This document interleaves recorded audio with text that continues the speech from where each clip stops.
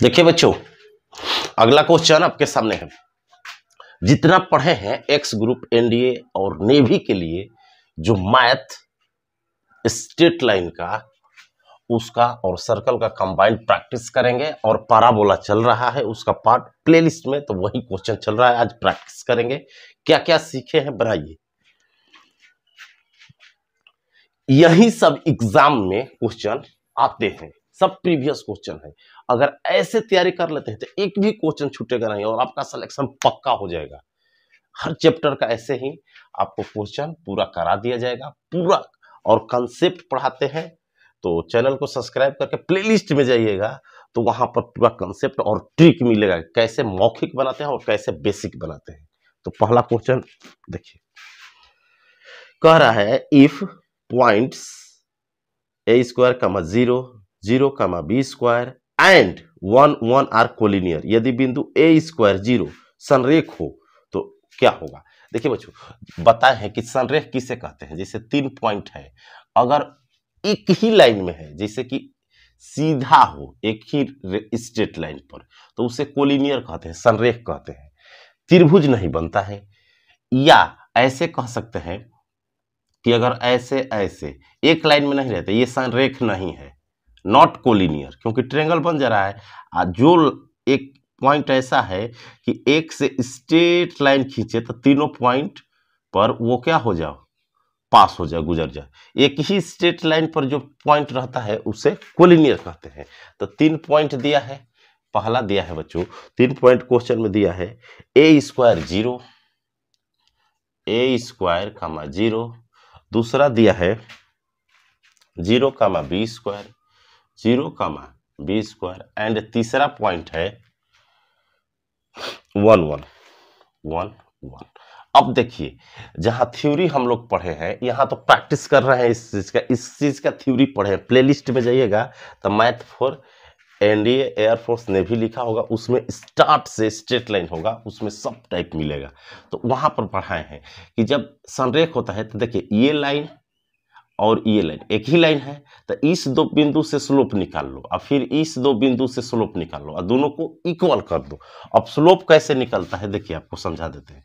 जैसे दो पॉइंट रहता है ना x one y one x two y two if two point are given we can find slope तो स्लोप जो निकलता है स्लोप जिसको हिंदी में ढाल कहते हैं एम होता है, वो होता है y two minus y one बटा में x two minus x one. इसी फार्मूला से निकलता है।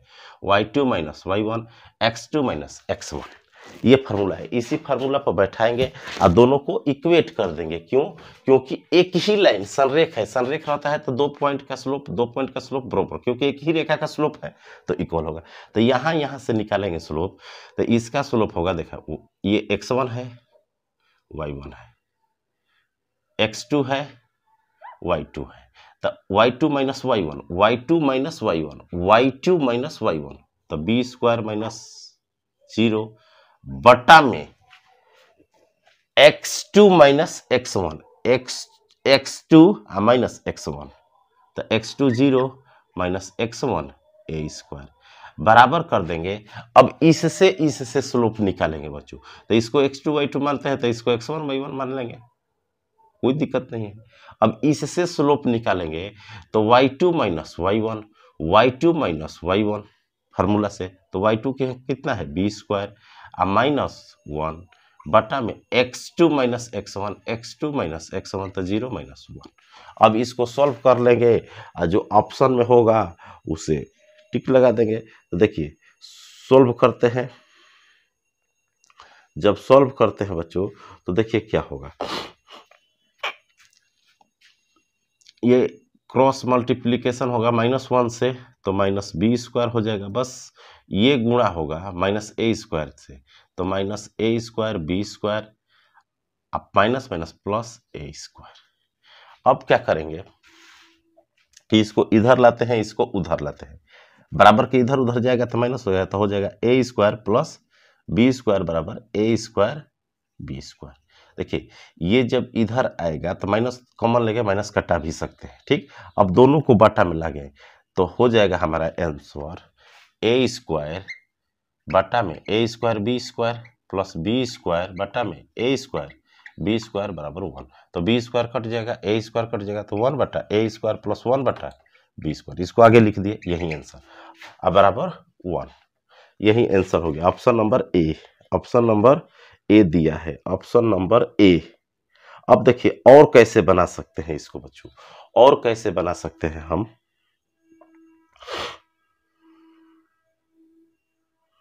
और कैसे बना सकते हैं? एक कॉन्सेप्ट बताए हैं इसको मौखिक बनाने के लिए। ये तो बेसिक बता दिए। कि आपको करना क्या है? कि आपको स्लोप निकाल के इक्वल कर दिए। और बना सकते हैं, एक कंसेप्ट बताए हैं। देखिए, एक कंसेप्ट बताए हैं कि जब भी स्ट्रेट लाइन हो स्ट्रेट लाइन हो, उससे मतलब नहीं है स्ट्रेट लाइन हो। आ एक पॉइंट दिया हो, जैसे कि एक्सिस पर रहता है, ऐसे।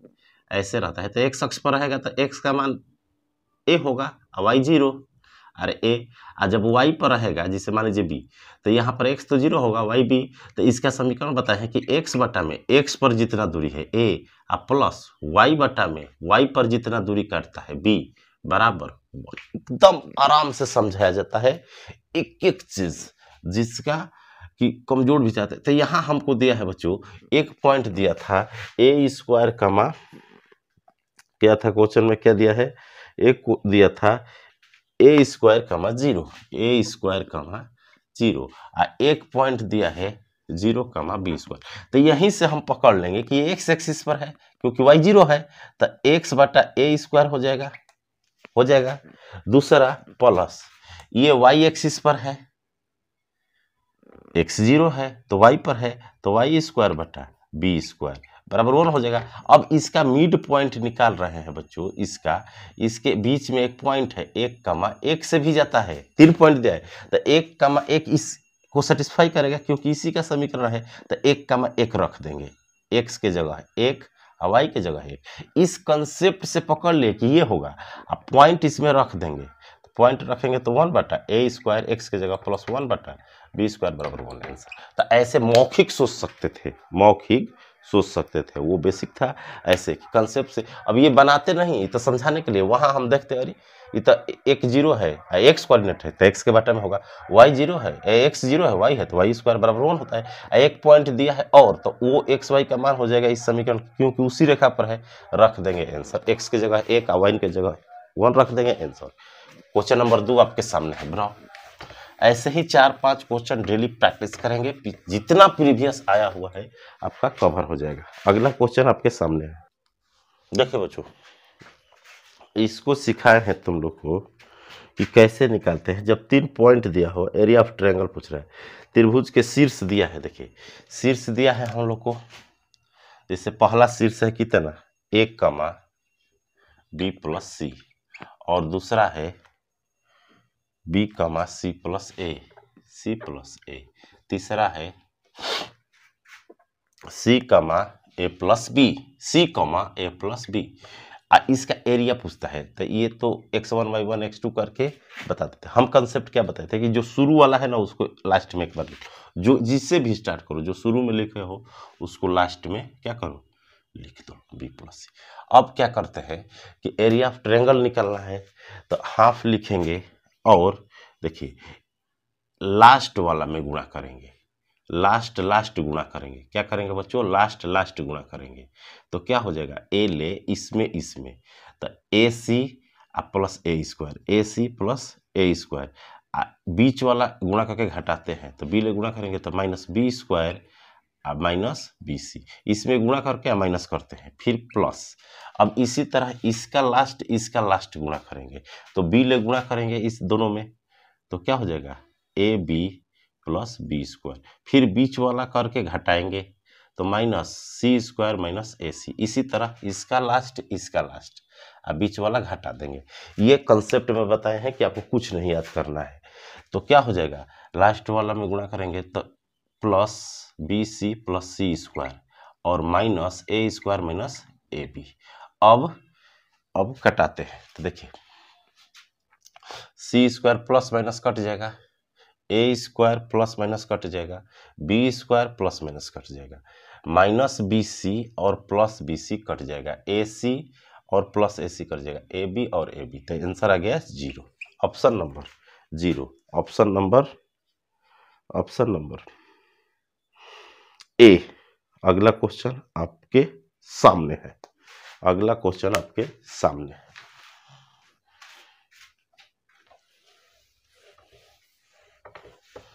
अगला क्वेश्चन आपके सामने है।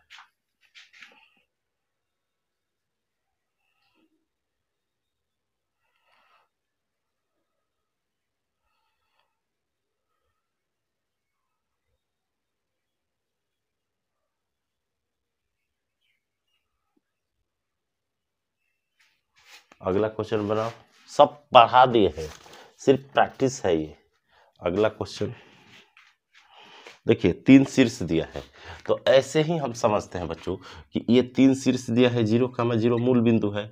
आ, ऐसे अगर चलता है तो एक दिया है वाई ज़ीरो। तो एक शख्स पर है, एक कामा ज़ीरो, एक कामा ज़ीरो। तो ये साइड दूरी ए हो गया। एक दिया है, ये बी है। तो ज़ीरो कामा बी। तो ये तो राइट एंगल ट्रेंगल हो गया। तो राइट एंगल ट्रेंगल का जो ये होता है ना, लंब केंद्र होता है, ठीक? आ सरकम सेंटर परिकेंद्र जो होता है, इसका मिड पॉइंट होता है।